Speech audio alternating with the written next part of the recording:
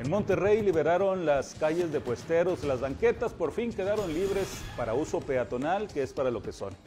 Por fin le quitaron el negocio a unos cuantos que rentaban los espacios en la calle. El comercio es respetable, pero en lugares autorizados, no en las banquetas. Ojalá no den marcha atrás a la medida de liberar las calles de puesteros aquí en el municipio de Monterrey. Esa es mi opinión.